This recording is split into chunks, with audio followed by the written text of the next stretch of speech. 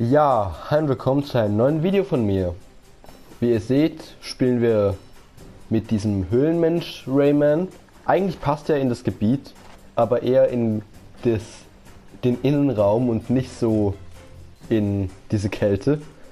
Aber ja, spielen wir mal das Level Gütiger Golem. Sieht auf jeden Fall schon mal interessant aus mit diesem komischen Tentakel.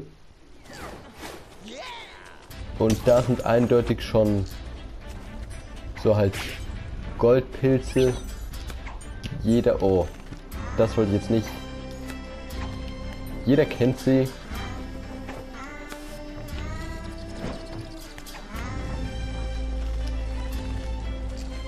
Ja, ist auf jeden Fall schon mal ein bisschen herausfordernd.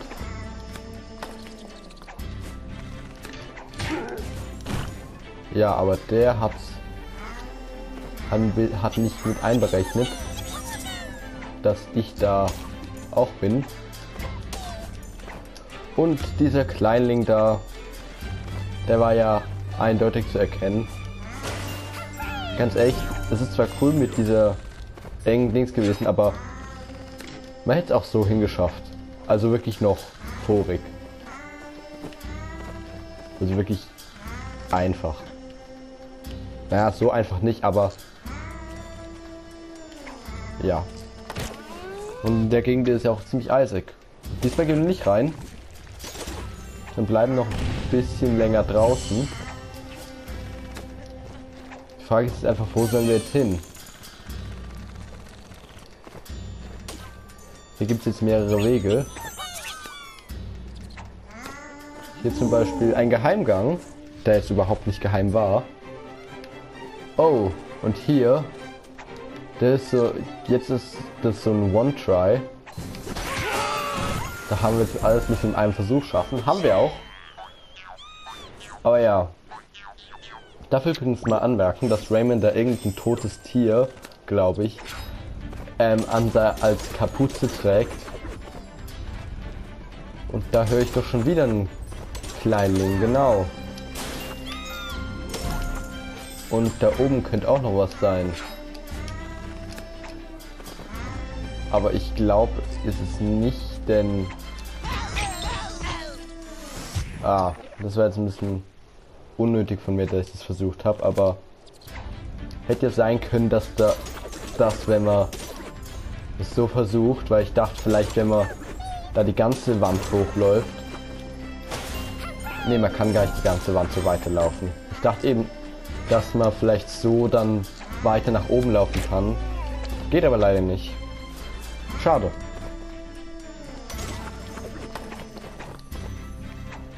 Aber jetzt sind wir wieder drin. Und diese Welt wird wirklich arg halt ähm, sich fokussieren auf diese oh, wie nennt man es? Ja, auf diese Wandsprünge. Und auf diese Wandläufe, genau, Wandläufe sind Und wow. Da ist gerade ein bisschen was runtergekommen. Also ein bisschen arg was. Okay, da können wir nicht dran laufen, aber hier können wir dran laufen.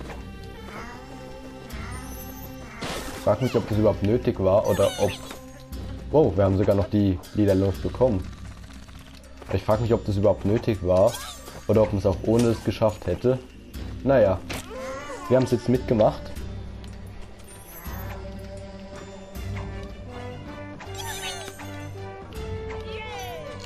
Ja. Oh, und hier ist noch einer dieser Leute.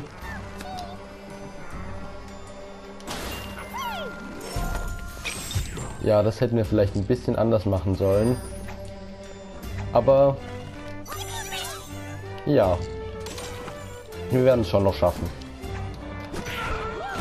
Ist überhaupt ein Mikrofon an? Ja, gut. Sorry für diesen kleinen Kracher jetzt oder was es auch immer ähm, ist. Ich weiß schon, dass man das ziemlich arg hört in der Aufnahme. Ja, und da oben ist auch nochmal ein geheimer Pfad. Aber ja, das haben wir jetzt schon mal gut geschafft. Jetzt müssen wir nur noch hier weiter hoch, um den anderen Geheimpfad zu bekommen. Ich versuche da jetzt mal hinzukommen ohne, die Cheat, ohne diese Cheat-Taktik. Ah, und das ist gar kein Geheimpfad, sondern einfach nur, ja, so eine Münze. Aber trotzdem würde ich noch gerne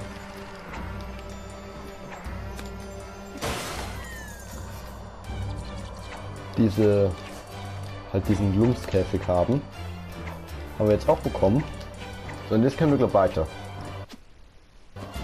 Verpasst haben wir hoffentlich noch keinen. Na, nee, haben wir eh nicht, weil den einen da haben wir ja gerade erst bekommen. Ja, da habe ich mich kurz verschluckt. Ja, aber das ist eine Gegend, die ziemlich verlockend oder so wäre für irgendwelche, ja, Geheimpfade oder halt versteckten Kleinlinge, aber da sehe ich gerade, dass hier der zweite royale Kleinling ist.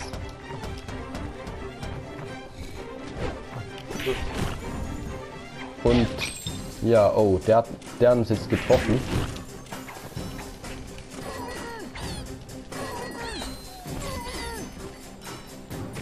Ja, gut, die kommen gar nicht runter. Da bin ich sehr froh drüber. Und ich warte auch gerade noch, dass bis er den zweiten schießt, weil ich habe gerade gesehen, wenn er den zweiten schießt, krachen die ineinander. Und dann ist er ein bisschen wie aufgehalten. Ja. Und jetzt haben wir es aber schon geschafft. Das heißt, jetzt fehlen uns nur noch ein paar, die ein paar Kleinlinge. Ja, die paar Kleinlinge und dann sollen wir es eigentlich auch schon geschafft haben.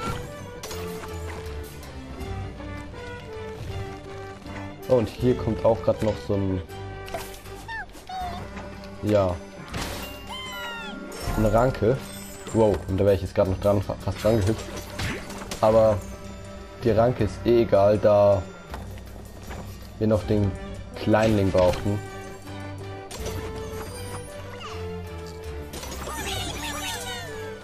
Da gab es noch ein paar geschenkte Lums.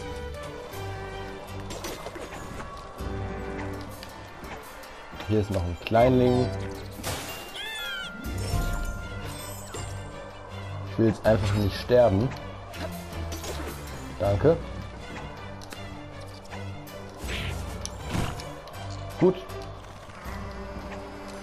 Oh, das hätte ich vielleicht jetzt nicht machen sollen. Uh, das, ja, das war ein bisschen blöd.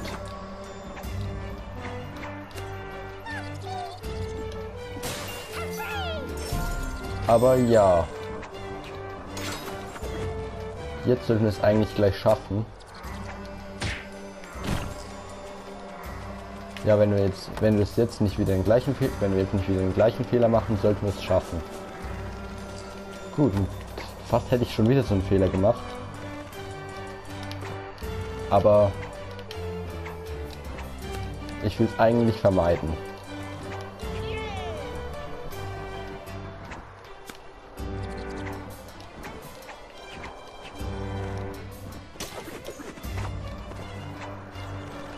Oh, und das Rad dreht sich auch noch, das heißt, wir könnten das ziemlich, ähm, wow, das war jetzt verdammt knapp, aber es, das heißt, wir könnten dann noch ziemlich aufgehalten werden.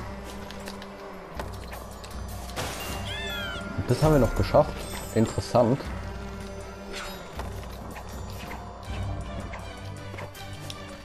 Ich meine, man muss sich einfach mal vorstellen. Ja, okay, jetzt konnte ich nicht gerade so. Ah, doch, da.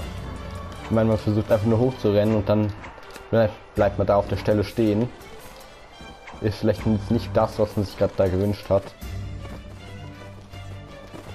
Aber hier kommen wir eigentlich nicht so einfach hoch. Ja, auf an der Stelle bleibt jetzt ziemlich lang hängen. Das stört mich ein bisschen, weil die Stelle ist jetzt ja eindeutig nicht so schwer. Ja, und deswegen haben wir es auch jetzt geschafft. Wow, jetzt kommen auch noch da diese Ranken. Oh. Deswegen gütiger Golem.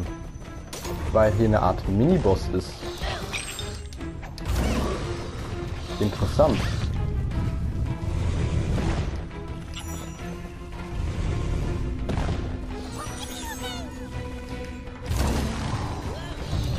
Oh, und jetzt wird er so eine Art Dämon oder so. Aber jetzt haben wir ihn ja besiegt. Und diese... Ich weiß nicht, ob das Jump Pads sind oder wie man das nennen soll, aber die sehen auf jeden Fall cool aus hier. Generell, der Boss sah eigentlich ziemlich cool aus. Besonders wie er sich halt langsam in den Schädel verwandelt hat. Aber halt diese Hüpfpilze, die sie damals waren, sehen hier ziemlich cool aus. Ja, war ein interessanter kleiner Miniboss. Schade, dass das nicht der finale Boss war. Weil dann wäre er ein bisschen einfacher gewesen. Ach, und diesmal gibt es gar kein äh, halt Freischalten des kleinen Links. Interessant. Nur weil da ein kleiner Miniboss war. Okay.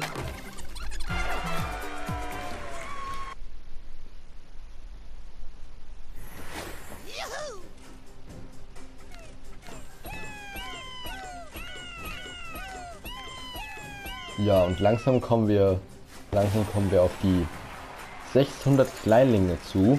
Dann fehlen es nur noch 100. Dann haben wir es schon langsam geschafft. Ritt auf dem Sturm. Gleich aber, weil wir werden jetzt noch das Glückslos öffnen. Oh, und da ist ein Kuscheltier drin. Der Antennik.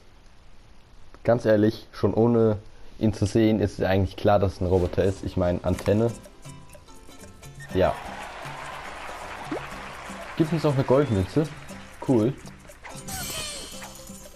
Ganz ehrlich, ich werde jetzt noch kurz die sammeln. Ich weiß, soll ich vielleicht nicht immer im Part machen, weil es ziemlich viel Zeit kostet. Aber ich meine, da stehen so viele Lumps einfach so rum. Also die fliegen da einfach so vor der Nase. Das kann man doch eigentlich gar nicht, nicht einsammeln. Das ist so eine große Verlockung. Und lang dauert es ja auch nicht. Ich meine, es hat jetzt so höchstens Minute gedauert. Hier fehlen uns auch nur noch 40 Lums. So, und jetzt machen wir das Level Ritt auf dem Sturm.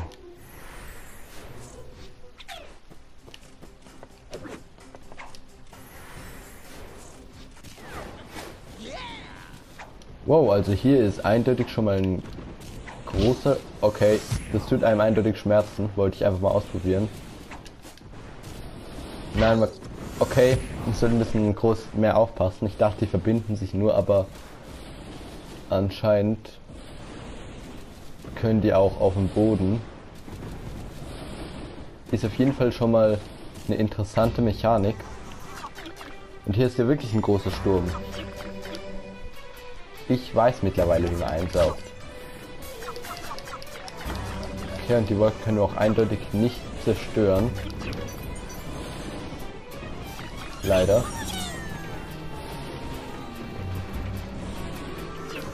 So, und hier kommt ein, eine Art Flotte.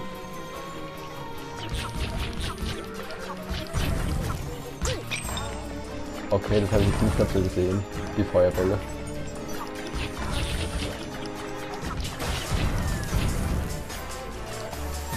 Ja, vielleicht sollte ich nicht immer die Bomben zerstören. Äh, vielleicht. Ich guck noch, ob die mir auch Lump geben. Ne, geben sie nicht, dann, dann lasse ich sie, glaub lieber.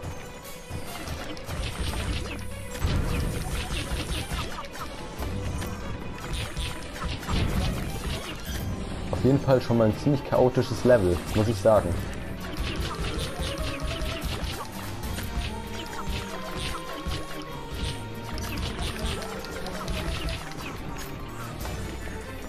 Ja. Und der Sturm ist auch ziemlich gefährlich. Ich weiß nicht. Geben mir diese Bombenlums? Ich glaube irgendwie doch. Deswegen werde ich sie doch wieder zerstören. Aber hier ist auf jeden Fall schon mal eine Flotte von diesen komischen Goblins sind es, glaube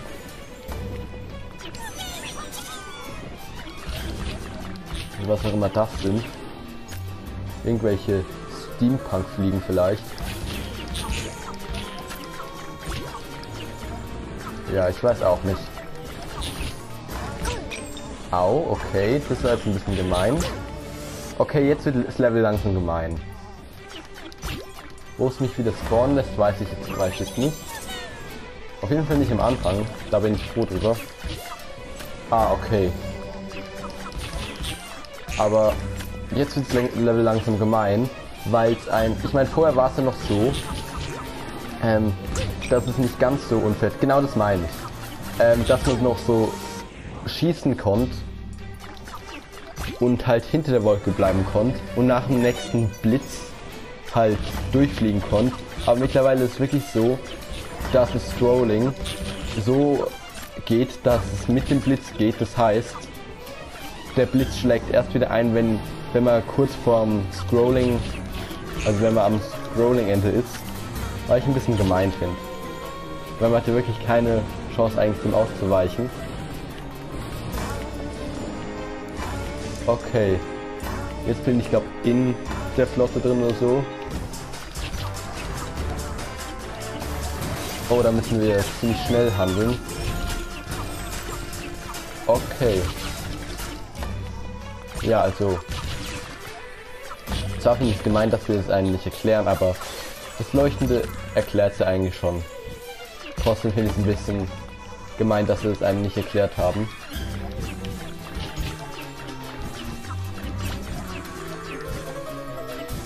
Besonders diese Turrets kann man ja auch nicht zerstören. Und den müssen wir eindeutig noch einsammeln, den Kleinling.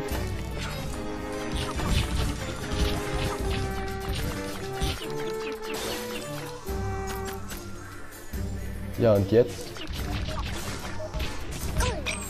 Okay. Komischerweise... Wow, jetzt wird es langsam ziemlich assi. Weil ich meine, die kann ich glaube auch nicht zerstören. Oder? Ich weiß nicht. Also die Szene gerade eben war ein bisschen assi. Deswegen bin ich froh, dass ich da durchgekommen bin. Und das war's schon mit dem Level. Interessant.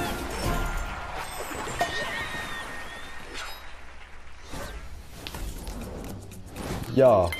Und da gibt es sogar einen eigenen Hintergrund dafür, glaube ich zumindest.